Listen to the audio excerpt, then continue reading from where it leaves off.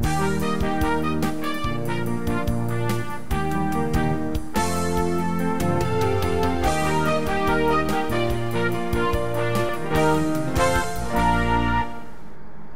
everyone, I'm Virtual Kaylee.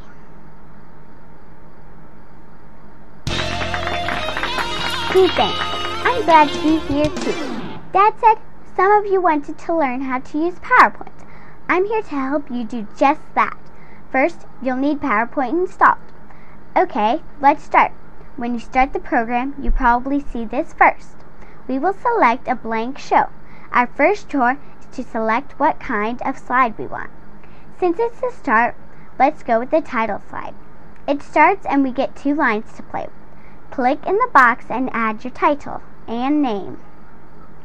If you want to change the way your letters look, have you have these choices.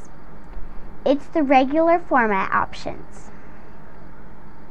Now before we go further, I point out that you have an outline area and a work area. Now down below, you have an area where you can put your show notes. These can be printed off later. It's so other people can use your show if you want. Okay, first slide done. Now let's add a slide. See the icon. Click it and you add a slide. Now we have a new slide. Let's get to work. How about a picture? Double click on the icon and here is what you see. We get the selection window to choose from different clip art. Remember, you can import your own pictures and you do that here.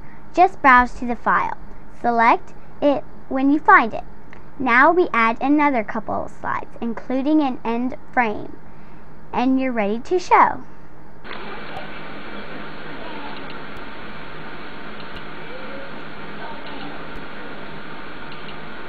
Wow, pretty cool, huh?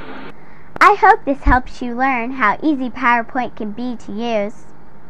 Now, this was a basic show, and Dad has some advanced options that we can see. If you have any questions, email Dad and he can help you out. Hey, thanks again, folks. This is Virtual Kaylee signing off.